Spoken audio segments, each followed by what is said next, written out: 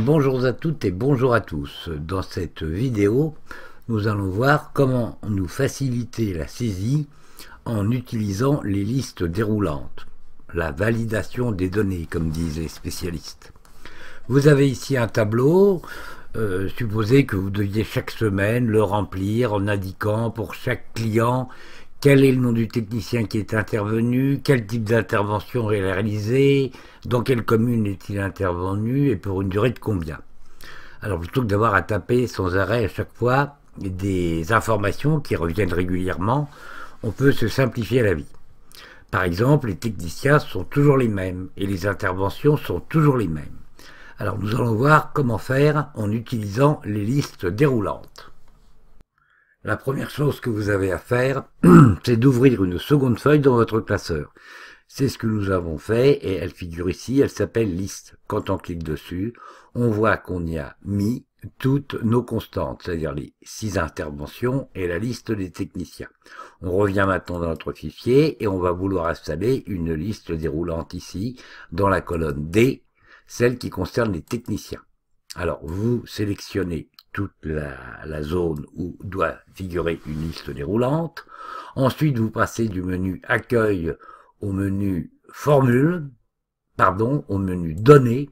Et là, vous allez voir ici Validation des données. Vous descendez avec la petite flèche et vous choisissez Validation des données. Une boîte de dialogue s'affiche.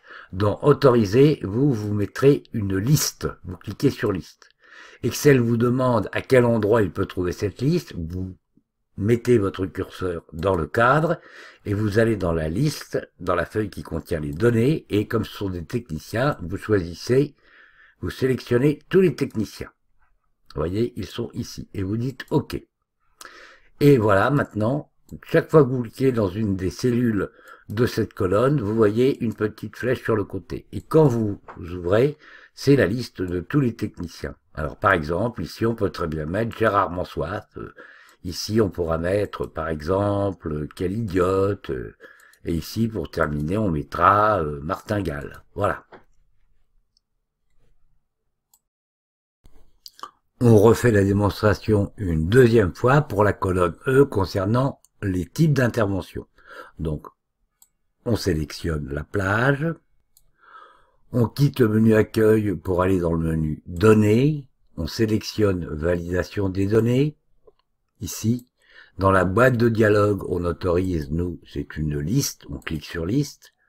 Pour indiquer où se trouvent les informations, on place impérativement son curseur ici, sans ça, ça ne marche pas. Et ensuite, on va, dans notre deuxième feuille, chercher. Là, on sélectionne dans les interventions les six interventions, elles apparaissent ici, et on clique sur OK. Et désormais, quelle que soit la cellule dans laquelle on clique, on voit qu'il y a une petite liste. Par exemple, on peut dire que Gérard Monsoif, eh bien, lui, il a fait euh, de la sauvegarde. Que quelle idiote, euh, elle a fait de l'infection. Pardon, de l'infection. Et puis que Martin Gall, lui, il a résolu un problème de réseau. Ah, pardon. Réseau. Voilà. Bon, j'espère que cette vidéo vous sera utile et je vous dis à très bientôt. Au revoir.